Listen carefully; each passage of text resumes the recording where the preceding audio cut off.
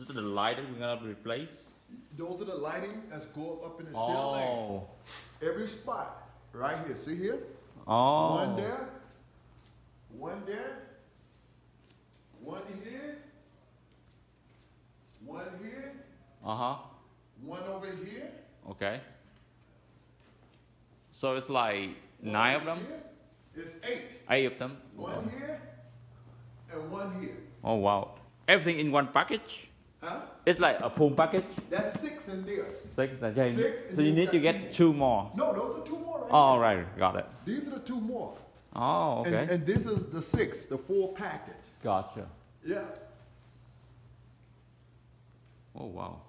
Yeah. It's gonna be on bright. Huh? The room gonna be super bright. It'd be bright. It'd be bright.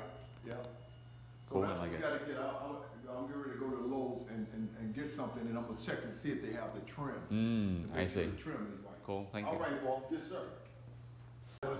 Yeah. That's your uncle, please. this uh, Uh, you were gonna make the Very left here.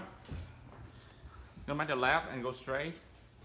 The master bedroom is right over there. Yeah, the one that the, the door open. Okay. Can't be it. Ask your uncle, where did the brown furniture go?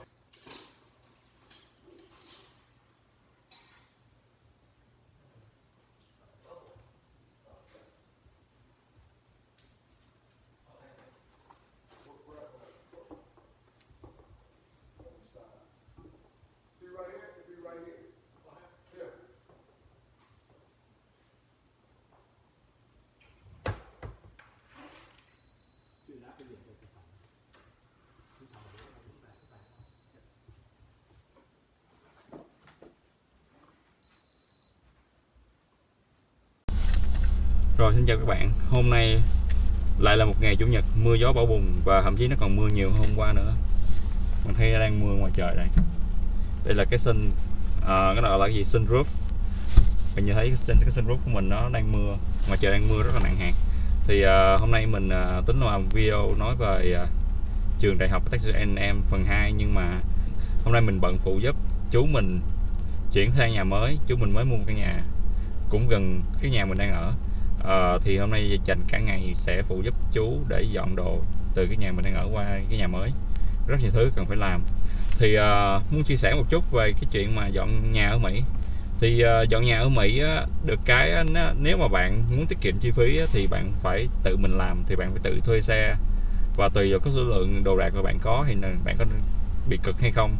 À, nhưng mà quá nhiều đồ như nhà chú mình có rất là nhiều đồ. Tại vì mình rất là thích mua sắm nên là đâm ra là nhà có rất là nhiều đồ. À, cần phải mua. Và có những món đồ lớn như là giường những cái tủ nặng á, thì mình sức mình không thể nào mà mình khiêng được vì nó rất là nặng cồng kề. Thì á, mình à, sẽ mướn một dịch vụ cho à, người ta sẽ khuyên vác giùm mình. Thì à, theo mình được biết hỏi chú mình á, thì à, người ta tính rằng 2 giờ đầu tiên á, là mình trả 165 đô. Từ giờ thứ ba trở đi á, thì à, 65 đô một, một một giờ đồng hồ cái đó là cái tiền mà lao động mà mình trả cho cái người phân phát đó thì người ta sẽ mướn một cái xe tải lớn đến người ta sẽ vô người ta khiêng phát người ta khuân tất cả đồ đạc vô trong cái xe tải đó đi gần đi một chuyến thôi là đã hết đồ rồi. Thì nó rất là tiện.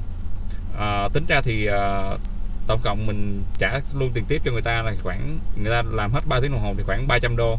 Nhưng mà 300 đô đó thì à, nói chung là mình nếu mà mình bỏ sức ra mình làm thì cũng phải mất cả ngày á rồi chưa kể mình phải tự mình đi mướn xe nữa chứ xe mình thì không thể nào mà chở được những cái món đồ nặng như vậy. À, thì tính ra thì nó cũng xứng đáng.